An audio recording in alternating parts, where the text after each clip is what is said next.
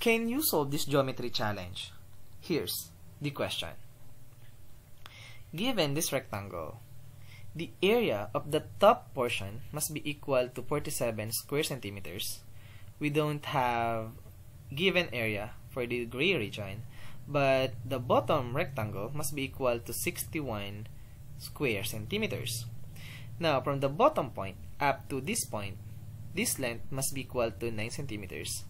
And from the top down to this point must be 8 centimeters. Now, the question is what is the length of this rectangle? Now, you can pause this video if you want to give this problem a try.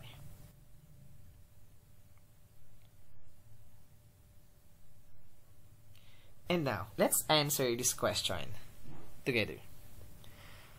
Alright, so given this rectangle, this figure, our goal is to solve for the missing length of this rectangle.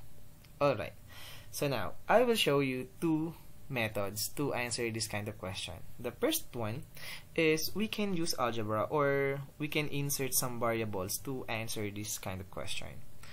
And the second one our favorite, which is the shortcut. So given this condition, whatever it is, is it rectangle, square, etc., etc., we can use the shortcut.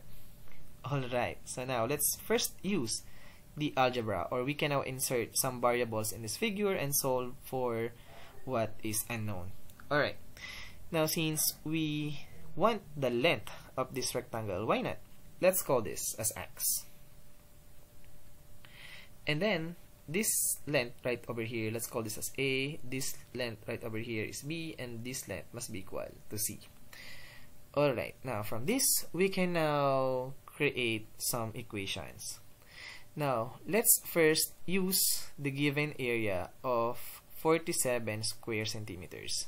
Now to get 47 square centimeters we can multiply x and c. So we can say that c times x must be equal to 47 Alright. Now, how about this area? 61 square centimeters. So, to get 61 square centimeters, we can multiply this x and this variable a. So, we have ax equals 61. Now, let's set aside these two results. And then, let's use another one. Let's make another equation. So, 9, this 9 multiplied by x, this will give us two regions. We have AX and BX. So we can say that 9x must be equal to these two regions. We have AX plus BX. Now, notice that we have a value for AX. AX is given a while ago, which is equal to 61. So we can replace this AX with 61. Now, let's use another given. How about this 8 multiplied by x? 8 times x, this will give us two regions again. We have bx and we have cx. So we have 8x equals cx plus bx. Now, we have a value for cx, this equivalent to 47. So we can replace this with 47, like this. And now, we can now focus on these two results.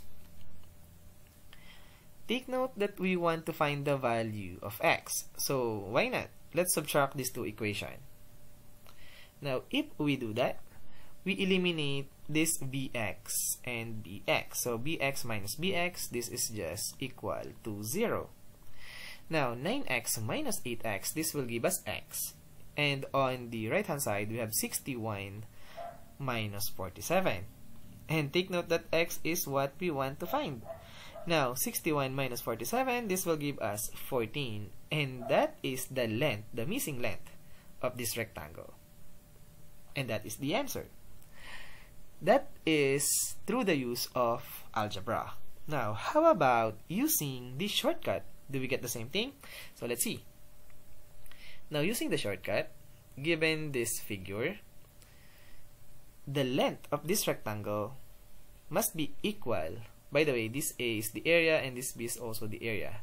small a and small b are the side length alright now the length of the side of this rectangle represented as x must be equal to a minus b all over a minus b or capital A minus capital B all over small a minus small b.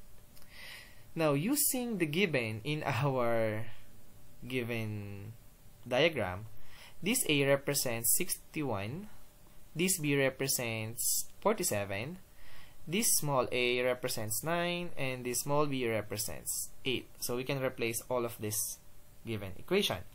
So x equals 61 minus 47 all over 9 minus 8. Now let's simplify. 61 minus 47, this will give us 14. And 9 minus 8, this will give us 1. And 14 over 1 simply equal to 14. And that is our answer a while ago. Therefore, our answer to this question, given this figure, then the missing length of this rectangle must be equal to 14 centimeters.